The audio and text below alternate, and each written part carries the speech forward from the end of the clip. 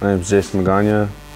I'm 11th grade and I go to Indian Springs High School. Uh, I started playing baseball when I was a little kid, um, four years old. I've been playing for 13 years.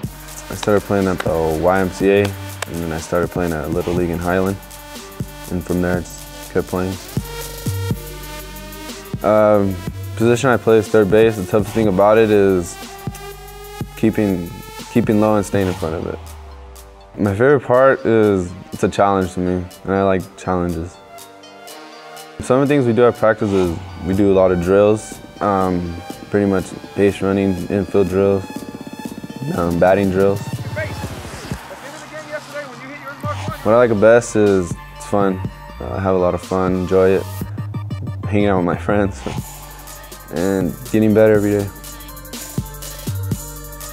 What I'm doing to become a better hitter is um, keep my eye on the ball, staying low, keep my swing level, and driving the ball. What Coach Sorensen likes to see in baseball players is hardworking, not, no lack of practice, and respect. Come on, guys, it starts today at practice. We got to play tomorrow. Jason is a very good player. He bats third for me. He's been a power hitter ever since freshman year.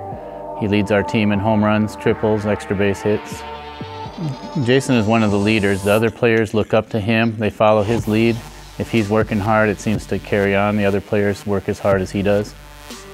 Indian Springs is a new school. It's in its third year. We're still in construction. It's been a little bit of a challenge just getting um, the players to buy in without having all the facilities that other high schools have. But at, into our third year, the kids are buying in. They're working very hard. This is our first um, year in the San Andreas League, the first um, time the baseball team has been in the league.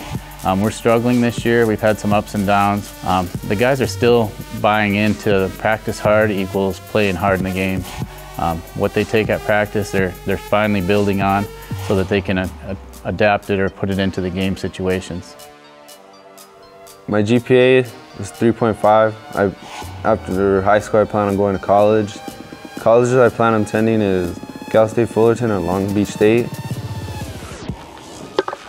The person I look up to is my sister because she's the first person to graduate in our family from college. And I want to say my dad because he's been with me, like he's the one that put me in baseball and kept pushing me. And every time he'll go watch my game, he'll tell me what I did wrong.